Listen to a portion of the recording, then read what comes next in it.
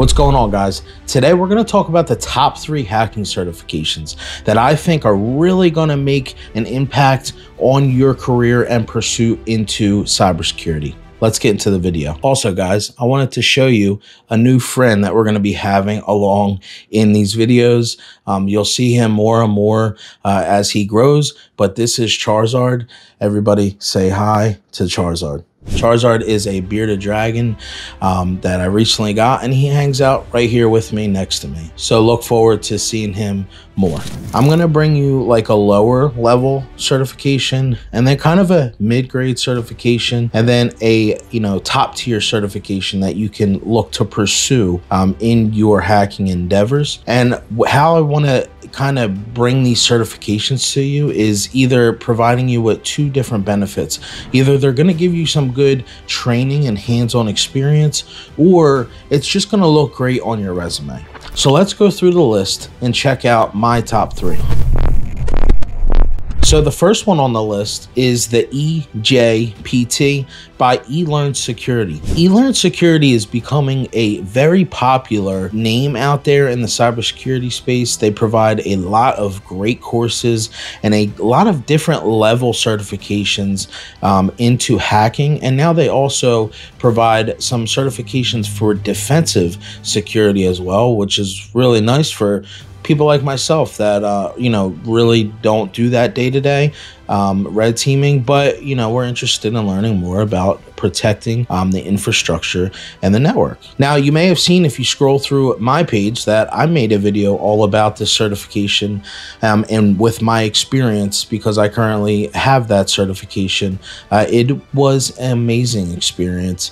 It did show me something um, about security that we'll get into, but let's talk about the price first. So, one of the most intriguing things about the certification is the fact that it's only $250. I don't say only as in that's not a lot of money.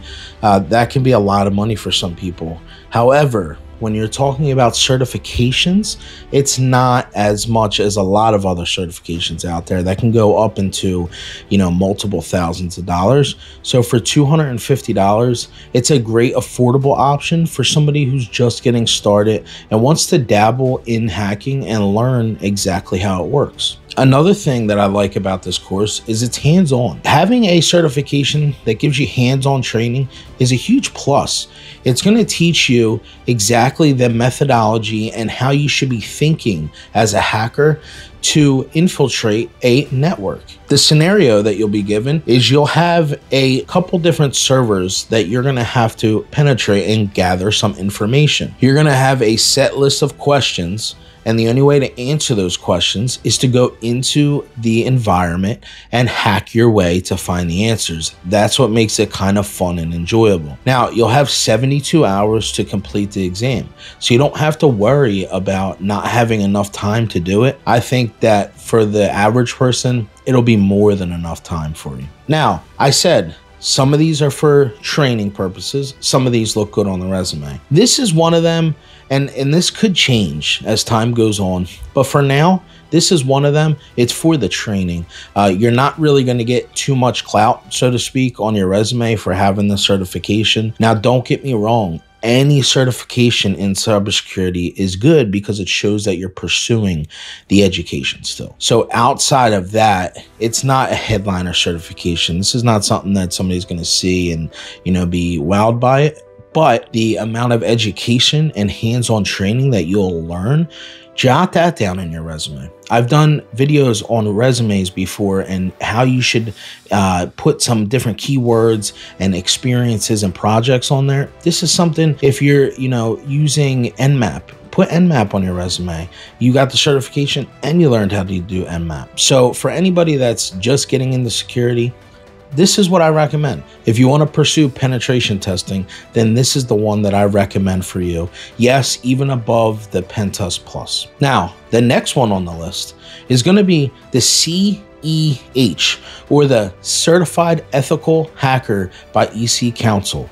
This certification has been widely regarded for a long time now, at least the past, you know, 10 years. It's just been a certification that is highly sought after and that employers are looking for. Now, we talked about the EJPT. The reason that I have you getting this one after that certification is this one's a little bit more tough. And this certification is also more expensive. Coming in around $1,200, this certification is maybe something that you want to save up for and pursue. Now, unlike the EJPT, this is more of a book knowledge certification. Now, they have added some hands on work in there, but for the most part, it's kind of a brain dump and it's something that you will learn a lot, maybe not a lot of hands on work with. The great thing that I do love about the certification, and we talked about this previously, the EJPT is for hands on. This one is a great resume builder. If you go on to LinkedIn or you go onto Indeed and you type in this certification and search, there's going to be thousands of hits because this certification is highly regarded by jobs. So if that's something that you're more interested in over getting, you know, hands-on experience, by all means, go after this one before the EJPT. Maybe do the EJPT afterwards to get some experience with the hands-on work. Either way, you're going to be set up on your resume once you get the certification because it looks good. It looks good enough for an entry level, I would say, into like a junior penetration tester role or something like that. Now, let's move on to the last certification. Now, this is a certification that I think is on everybody's list and is probably regarded as the most technical certification out there that you can get. And that's going to be, some of you may have guessed it, the OSCP. The OSCP is a certification brought to you by Offensive Security. Offensive Security does a lot of work in the cybersecurity space. They have a lot of courses out there, a lot of certifications. They're well known, well regarded. This is a certification. If you get this, you're pretty much going to guarantee yourself a position as a penetration tester because the certification is that hard. It's grueling and there is a lot of technicality that is required for it and you're going to have to study for a while to get to the point where this is for you now i just want to revert back a little bit because i said if this is for you something that i learned when i was taking the ejpt is that it wasn't really something that i wanted to do day in and day out. It was more of something that I liked as a hobby. And you might find that insecurity that one side you like for hobby, one side you like for work. For me, I like blue for work, red's for hobby. And that's just the way it is for me. It could be opposite for some of you. So keep that in mind as you're going through these certifications you don't have to do, you know, hacking just because you got the certification. It's just good to learn. So jumped off track a little bit there. So back to the OSCP. This certification is going to run you about a thousand dollars. Again, it's kind of steep in price, and that's just for the exam voucher. You're definitely going to want to take advantage of their designed course for the OSCP. And I've even heard and read that you want to study before you take that course as well, and you want to get good with hacking. Um, there are different uh, tools out there and different websites that you can use, such as Hack the Box. And there's also lists, if you Google search, of machines on Hack the Box that kind of replicate what you're going to see in the OSCP. So you probably want to do that first, then you know, dive into their course.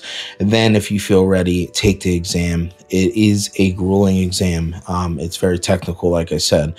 So, what you're going to do is have five machines. I think the last time that I looked at it was five machines that you're going to have to penetrate those five machines. And then you're going to have to write in a report about how you did so, and you're going to be graded on that as well. So it takes some time not only to penetrate the machines, but then also to write up a report, which is how it works in the real world.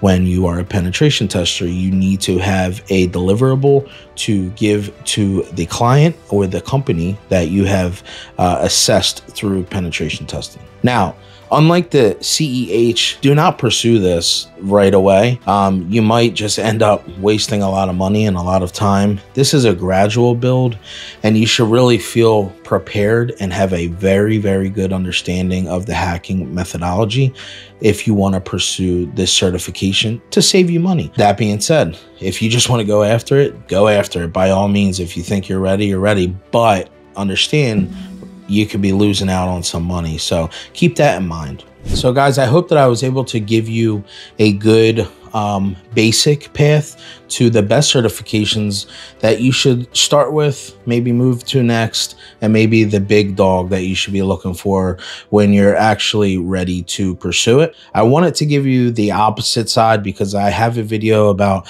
um, you know, my top three blue team certifications. However, that list does need to be revisioned. Um, that is from last year. So I'll be having a new one come out soon on the certifications that I think you should be getting this year. Every year, um, companies are coming up and, you know, they're getting more popularity and they're being noticed more by the cybersecurity world. So I will be updating that and you will see that video coming out this year as well. Guys, if you are new to the channel and you're interested in cybersecurity, hit the subscribe button down below. Come be a part of this family and start learning cybersecurity. Don't forget the bell notification so you'll know whenever I post a new video. That's all I have for this, guys, and I will catch you in the next video. See you later.